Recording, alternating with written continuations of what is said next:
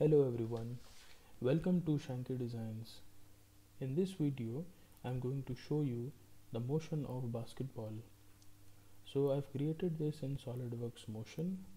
So for this, I have made a ball and I have made a block uh, of uh, wood which is uh, there in front of you. So this is acting like a basket. This is a simple cuboidal rod and this is a base. So now I'll show you that uh, how the motion is and then I will give you the whole procedure and the steps how I made this. So first let me just jump into the motion study. Now as you can see the ball is kept over here and this is the basket. I'll show you like this see. The ball is just in front of the basket. It is uh, placed randomly now I will play the motion and you will be able to see that how the basket uh, ball is acting and uh, how it is jumping into the basket. So let me play it for you. Now you can see the ball is jumping and getting into the basket and it's bouncing also. Let me play it once more for you guys. As you can see the ball is jumping and getting into the basket. Okay. So first of all let me show you how I made this. So for this I'll just uh, jump into the model. So you can see this is a very simplistic design. I have created this. You can see the design tree. This is the basket base. I've named it at, at uh, as basket base in this there is simple uh, you can say a rectangular uh, uh, structure like this which is extruded to a little bit. Again at this end I'm having again a square or rectangle uh, sort of blockhead which is extruded up till here. And then again I'm having a circular extrusion over here which is connected to this top end. This is one part. This is a simple ball a solid ball which is the second part so this you will have to create an assembly because we are uh, uh, going to see the motion study. So motion study can be seen when we are in a assembly. So after creating these two parts what I will do I'll just keep this ball randomly anywhere in front of this basket. So now let's jump on to the motion study and see what all changes we have made over there. Okay so in motion study you guys can see that there are several sort of uh, you can say things which we can put in our environment. For example the first and the foremost thing which is to be placed over here is the gravity. Because when you are throwing a ball at the basket due to the gravity only the ball will fall downwards. If we are not putting the gravity the ball will not hit the ground or the ball will not come back towards the bottom.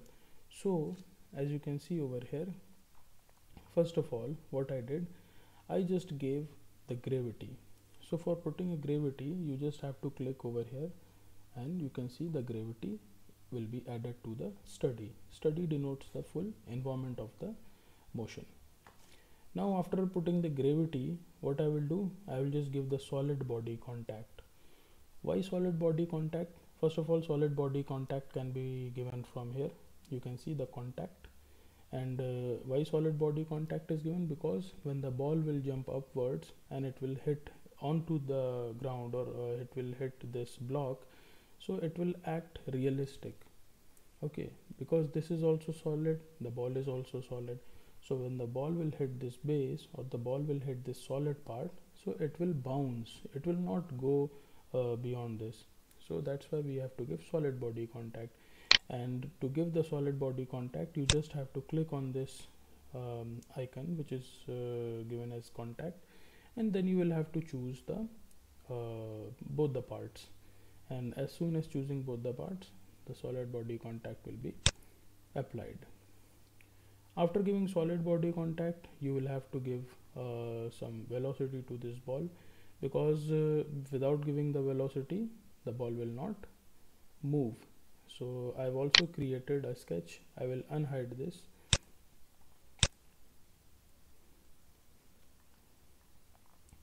So you will be able to see that uh, this is the line which I have created. I've created this line just for a reference uh, just for the ball because the ball will travel in this direction. Because when you are giving the velocity you have to give two things. First thing is the velocity and the second thing is the uh, direction or the reference. So I've created this line.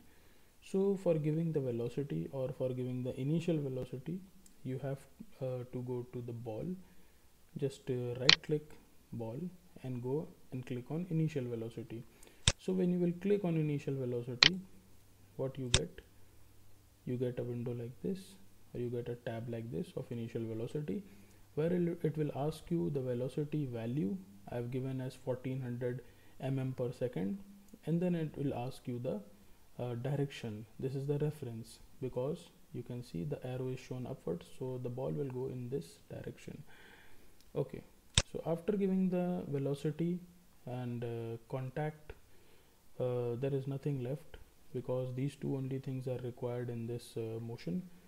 Okay now uh, the very important thing is that uh, which type of motion study you will choose as you can see there are three type of motion studies.